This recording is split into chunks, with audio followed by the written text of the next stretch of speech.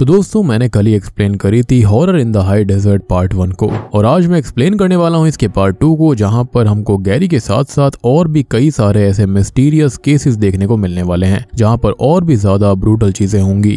तो अगर आपने पार्ट वन को नहीं देखा है, जाकर देख लेना, उसके बिना आपको कहानी समझ में नहीं आने वाली। उसका लिंक आपको नीचे कमेंट सेक्शन में पिंड कमेंट में मिल जाएगा। तो चलिए, अब बिना किसी देरी के चलते हैं सीधा वीडियो की तरफ़।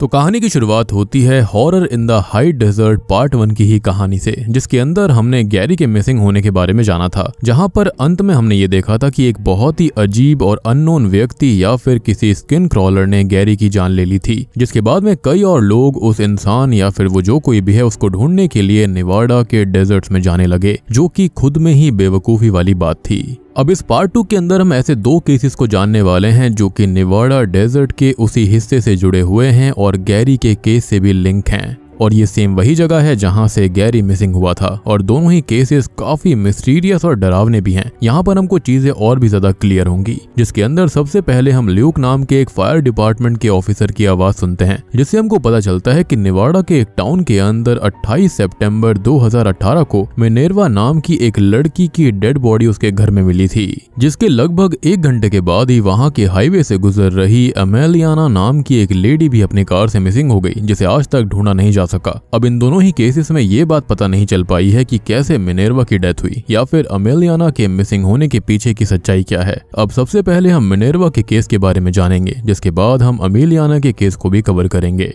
अब मिनेरवा की डॉक्यूमेंट्री शुरू होती है इन्वेस्टिगेटिंग रिपोर्टर गैल से, जिसको हमने पहले पार्ट में भी देखा था। यानी कि वो निवाड़ा के ही आसपास के केसेस को कवर कर रही थी। यहाँ पर गैरी के केस को मीडिया कवरेज देने में गैल का बहुत बड़ा हाथ था। अब यहाँ पर गैल ये बताती है कि जब वो एक दिन होटल में चेक इन कर रही थी। तब उसके पास एक लड़की आई जिसने उसको ये कहा कि मैं आपको पहचानती हूँ और आपने ही तो गैरी हिंज के केस को कवर किया था, जिसके बाद उस लड़की ने मिनेरवा और अमेलियाना के केस को भी कवर करने की रिक्वेस्ट करी थी। अब गैल को इन दोनों ही केसेस के बारे में पता चलता है। गैल ने तब मिनेरवा के बारे में पता करने की कोशिश करी तो उसको पता चलता है कि मिनेरवा असल में एक कॉलेज स्टूडेंट थी, जो कि अपने अर्ली थर्टीज में थी, और वो असल में एक जियोलॉजी स्टूडेंट होती है, जिसे अपने एक सेमेस्टर में निवाड़ा के माइंस को स्टडी करने का प्रोजेक्ट मिला था, जिस वजह से वो निवाड़ा आई थी, और वहाँ के ही सिप्रेस टाउन के अंदर उसने रहने का फैसला किया। मिनेरवा काफ़ी ज़्यादा ओपन और एक्साइटेड पर्सनैलिटी वाली लड़की थी, जो की हमेशा नई चीज़ों को एक्सप्लोर करने में लगी रहती। वहाँ से गैल को कैथी के बारे में पता चलता है जो कि उसकी बेस्ट फ्रेंड हुआ करती थी। और उससे हमको मिनेरवा के बारे में और भी काफ़ी सारी चीज़ें पता चलती हैं।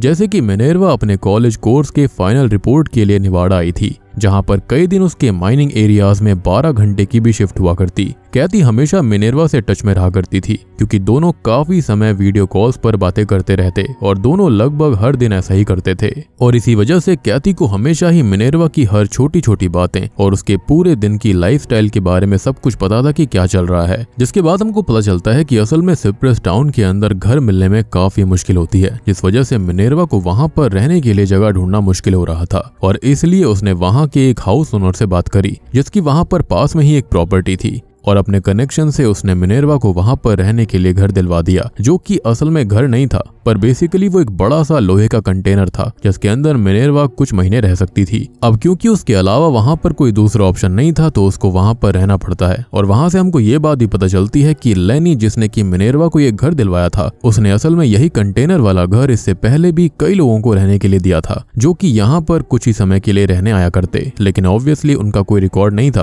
क्योंकि एक तरह से यहाँ पर ऐसे रहना कोई लीगल या फिर ऑफिशियल नहीं है। अब ऑफिसर्स को मिनेरवा के घर से एक बैग मिलता है, जिसके अंदर उन्हें कई सारी पेंटिंग्स और मिनेरवा का फ़ोन मिलता है। जहाँ पर पेंटिंग्स को देखने पर ऐसा लग रहा था कि जैसे कोई कल्ट अपने एग्जिस्टेंस का प्रूफ देना चाहता है कि हम यहाँ पर एग्जिस्ट करते हैं और ये हमारी आइडियोलॉजी है। वहीं जब मिनेरवा के फ़ोन को चेक करा गया तो उसके अंदर एक फोल्डर के अंदर उन्हें एक ऑडियो और वीडियो रिकॉर्डिंग मिली, जिसके अंदर ऑडियो रिकॉर्डिंग मिनेरवा ने कैथी के लिए रिकॉर्ड करी थी। पर इससे पहले की वो कैथी को सेंड कर पाती, वो सो गई थी। जहाँ पर हमें कैथी की बातों से ये पता चलता है कि मिनेरवा की मौत से कुछ समय पहले तक कैथी ने उसमें ये नोटिस किया था कि मिनेरवा हमेशा थकी हुई सी लग रही थी और वो ठीक से सोई भी नहीं थी। अब जब उस ऑडियो रिकॉर्डिंग को सुना गया तो उसमें मिनेरवा के सोने के बाद उन्हें किसी आदमी के बैकग्राउंड में आवाज़ सुनाई देती है, जिसको जब क्लियर करा गया तो वो आवाज़ काफ़ी हद तक वैसी ही थी, जैसे कि हमने गैरी के केस में सुनी थी। अब वहाँ की रिकॉर्डिंग के अंदर उनको काफ़ी शॉकिंग चीज़ सुनाई देती है और दिखाई देती है कि वो आदमी रात में मिनेरवा के सोने के बाद उसके घर में आकर रिकॉर्डिंग कर रहा था और वो ये कहता है कि मेरा दोस्त आ रहा है और शायद वो अब तक आ चुका होगा।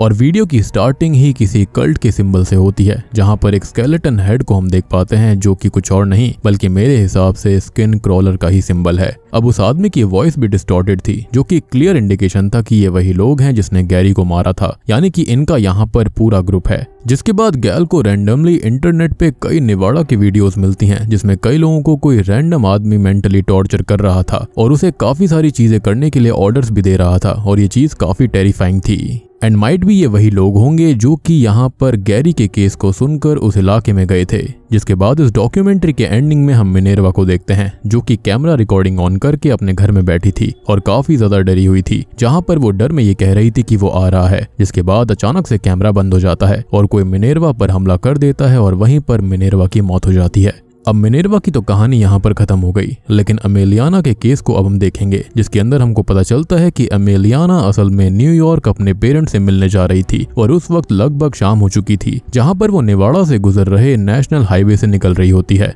और ये हाईवे उसी डेजर्ट वाले हिस्से से जुड़ा हुआ था। अब ये देखकर मुझे बेंटन वाला कार्टून याद आ जाता है, जहाँ पर वो अपनी गाड़ी लेकर ऐसे ही डेजर्ट के बीच एक हाईवे से गुजर रहा होता है, जहाँ पर उस पर हमला भी होता है। खैर, अब इस डेजर्ट के अंदर काफ़ी सारी घटनाएँ हो चुकी थी और अमेलियाना भी इसका अगला शिकार बनने वाली होती है। अमेलियाना असल में हाल ही में ही माँ बनी थी और इसी की खुशी में वो अपने पेरेंट्स से मिलने जा रही होती है। फॉर्चुनेटली उस समय वो अपने बच्चे को साथ में नहीं ले जा रही थी। अब अमेलियाना की मॉम पेट्रिशा से हमको ये पता चलता है कि वो असल में आते हुए उनसे बातें ही कर रही थी और सारी बातें उनको बता रही थी, जहाँ पर अचानक से रास्ते में उसकी कार खराब हो जाती है और वो अनफॉर्चुनेटली निवाड़ा का वही एरिया होता है, जहाँ पर पास में ही वो कंटेनर यानी कि मिनेरवा का भी घर था और अमीलियाना के मिसिंग होने और मिनेरवा की मौत के बीच खाली एक घंटे का फासला था। अब अमीलियाना अपनी कार से निकलकर कार के इंजन को चेक करती है, लेकिन तब भी कार ठीक नहीं हो पाती। जिसके बाद वो अपने पेरेंट्स को कॉल करके ये बात उनको बताती है, और फिर उसके पिता उसे वहाँ पर पिकअप करने के लिए निकल पड़ते हैं। जिस बीच अमीलियाना की कार में लगे हुए डैश कैम में हम देख पाते हैं कि उसकी कार के पीछे कोई आदमी घूम रहा था। अमीलियाना भी कुछ देर के बाद में इसको नोटिस करती है, पर शायद तब तक काफ़ी देर हो चुकी थी। अचानक से कैमरा में सब कुछ ब्लैक हो जाता है और हम अमीलियाना की आवाज़ सुन पाते हैं, जहाँ पर वो कहती है की शायद मेरे डैड आ चुके हैं, जिसके अगले ही पल वो ये कहती है की नहीं, ये मेरे डैड नहीं है। फिर वो आदमी था कौन, जो की वहाँ पर आया था, जिसके बारे में अमीलियाना कह रही थी। और मुझे लगता है की ये वही स्किन क्रॉलर है जिसने काफ़ी सारे लोगों को ऑलरेडी मार दिया है।